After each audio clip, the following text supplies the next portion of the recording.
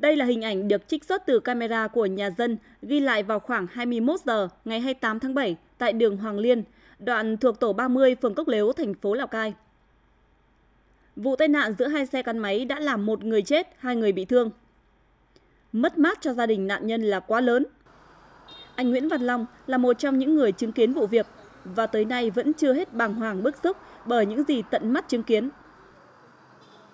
Cái vấn nạn này là là rất nhiều người bức xúc. Cái vấn đề mà học sinh sinh viên là vừa rồi đi coi như thế là đầu không đội mũ. Mà toàn đa phần là cũng xe xe biển số HP thôi.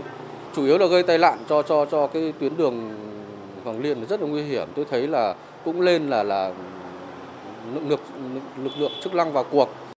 Còn đây là những hình ảnh về một nhóm đối tượng đi xe máy dưới 50 phân khối, không đội mũ bảo hiểm, lạng lách đánh võng trên đại lộ Trần Hưng Đạo do người dân cung cấp. Theo người dân, tình trạng này đã diễn ra trong một thời gian khá dài.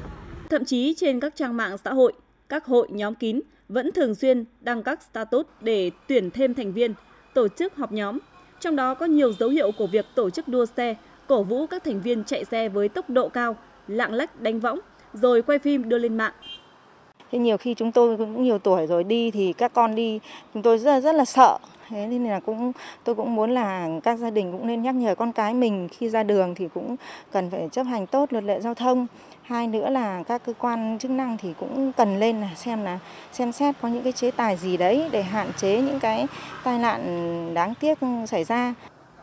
Với những vi phạm nghiêm trọng các quy định của luật giao thông đường bộ như vậy của một số nhóm trẻ vị thành niên, đã đến lúc các lực lượng chức năng cần có các biện pháp mạnh để ngăn chặn xử lý. Các gia đình cũng cần quan tâm quản lý giáo dục con em mình để tránh những tai nạn đáng tiếc có thể xảy ra.